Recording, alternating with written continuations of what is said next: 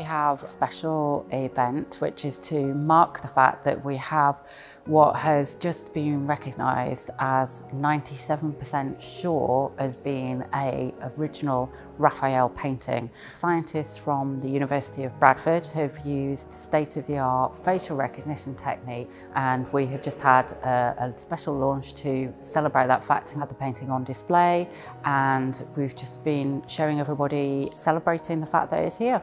This is uh, probably one of first um, where AI is actually being used to authenticate and to verify art. The moment what happens is it's the learned, knowledgeable people looking at it through their naked eyes and, and trying to do the verification.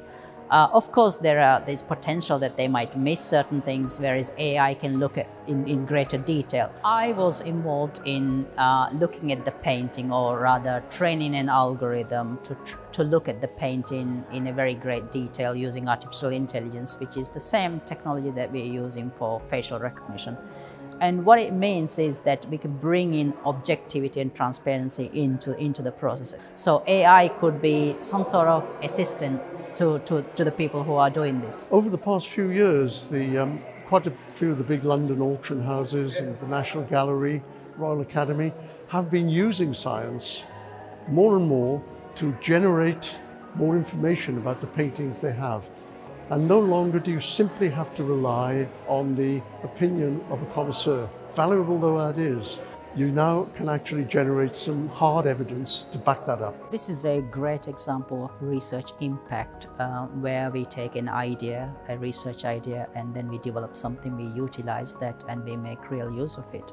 So this is a, a good example where we, we've taken the facial recognition technology, the AI that we've developed in, in that space, in the biometric space and applied in, in, the, in the real world of art.